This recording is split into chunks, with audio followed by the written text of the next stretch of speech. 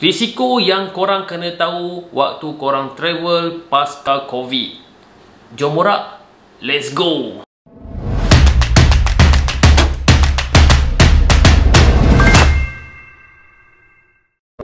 Assalamualaikum warahmatullahi wabarakatuh Welcome back to my channel Alright, so hari ni Sebelum tu Jangan lupa siapa yang belum subscribe lagi Subscribe sekarang sebab aku ada banyak gila nak Cerita informasi Pasal dunia travel, life dan macam-macam lagi Dengan korang. Alright.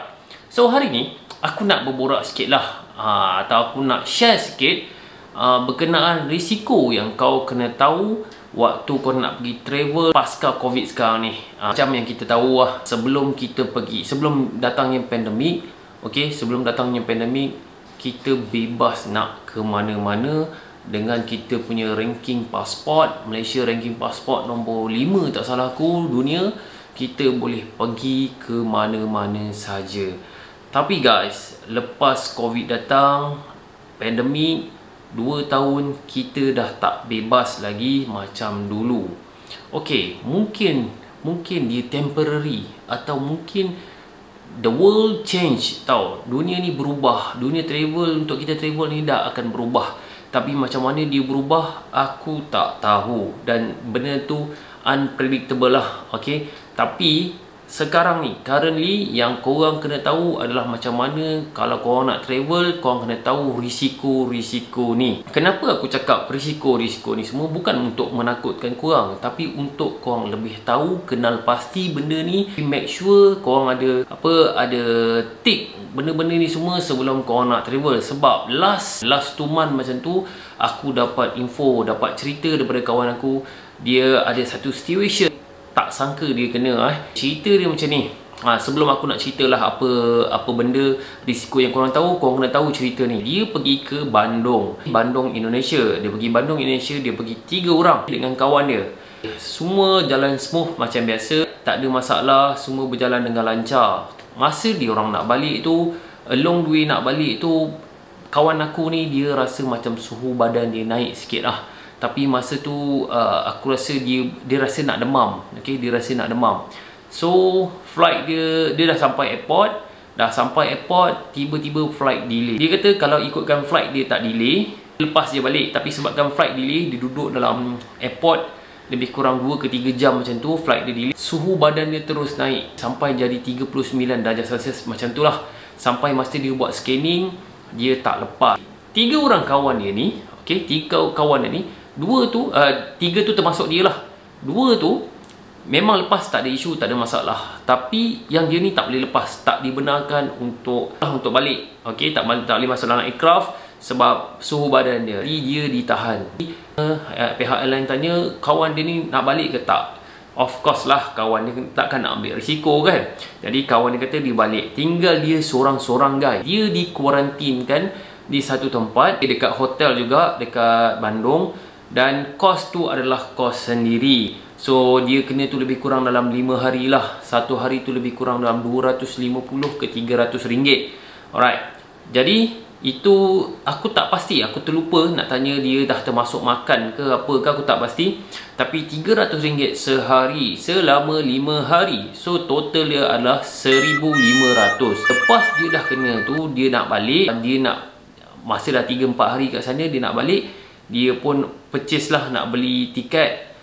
Tiket yang dia nak beli 3 hari ke 4 hari ke seminggu untuk date dia tu adalah lebih kurang 1800 one way daripada Bandung ke Kuala Lumpur.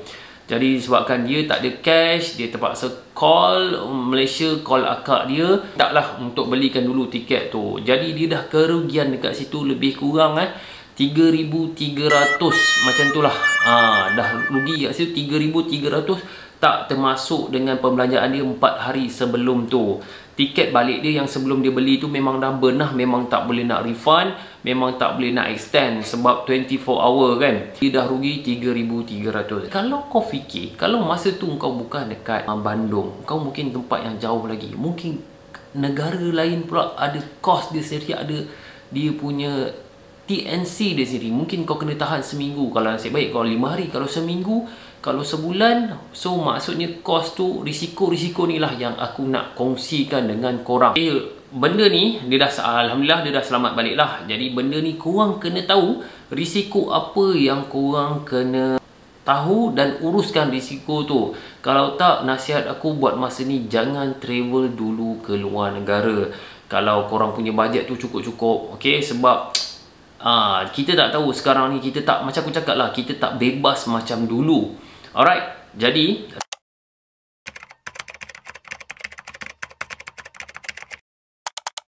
risiko yang pertama korang kena ambil adalah tahu adalah pasal regulation country. Maksudnya dia punya TNC sebuah negara tu. Sebab sekarang ni untuk pasca covid sekarang ni masuk Thailand kau kena tahu Thailand punya rules macam mana untuk covid pasal covid punya rules macam mana dia punya SOP macam mana dia punya termasuk Indonesia lain. Kalau kau nak pergi Turki dengan Switzerland mungkin lain. Kalau kau nak pergi negara-negara lain mungkin berbeza. Uh, masih lagi negara-negara yang masih ketat macam China.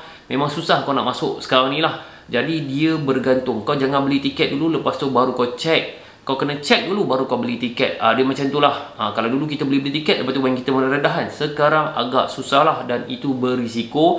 Mungkin tiket kau tak boleh masuk atau visa kau susah nak lepas sebabkan COVID ni lah.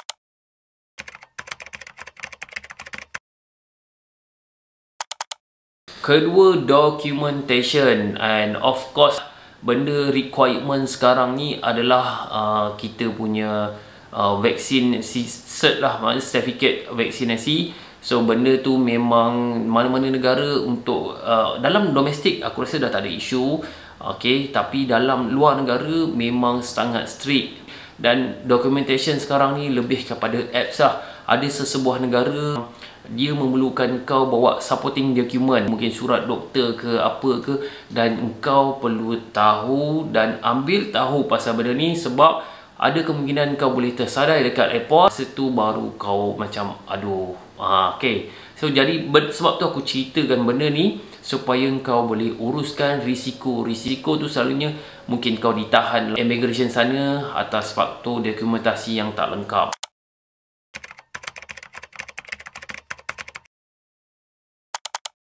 Macam tu juga dengan SOP. Ada negara yang masih mengekalkan kau vac ke tak vac ke. Vac memang tak vac memang tak lepas lah. Kalau kau vac even dah complete pun mungkin ada negara. Mungkin aku tak pasti sebab macam aku cakap eh. Banyak negara yang masih uh, ketat lagi untuk masuk. Mungkin kau kena kuarantin 3 hari ke 4 hari. Uh, kau kena check dulu sebelum kau pergi. Jadi kalau kau kena kuarantin sama ada kau pergi kuarantin sana 3 hari, so itu juga adalah kos sebab sekarang ni mana-mana government dia dah tak nak tanggung kos uh, kalau kita kena apa, kita kena kuarantin tu dia orang dah tak nak tanggung. Itu semua sendiri.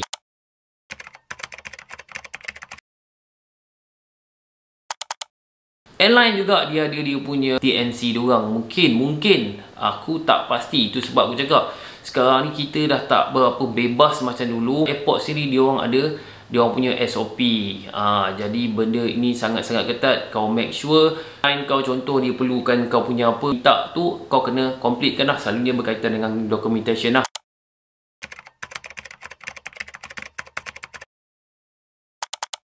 Begitu juga dengan polisi insurans. Insurans lepas pandemik dia berubah.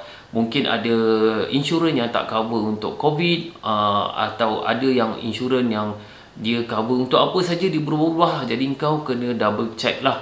Polisi-polisi insurans ni semua sewaktu. Dan make sure kau kena ambil juga insurans sebab benda ni mengurangkanlah risiko uh, cost. Kalau apa-apa terjadi berkaitan kau kena quarantine ke kau kena apa kau kena kena ambil benda tu untuk coverkan cost. Anything happen kita tak tahu kalau macam dulu kau ada seribu contoh eh, aku bagi contoh. Kau ada seribu kau pergi Thailand contoh. Atau kau ada kurang lagi pun senang cerita kau ada cukup-cukup lah.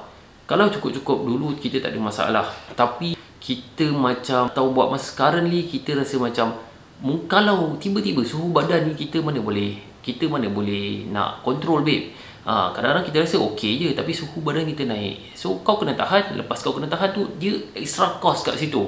Bila kau tak ada sourcing atau kau tak ada cash reserve sangat-sangat bahayalah. So macam kawan aku tadi tu dia call akak dia nasib baiklah akak dia ada boleh tolong belikan dulu kan sebab akak dia kat sini. Hang kalau korang kat sini pun uh, kita kawan-kawan parent kita pun orang susah kau nak minta tolong siapa?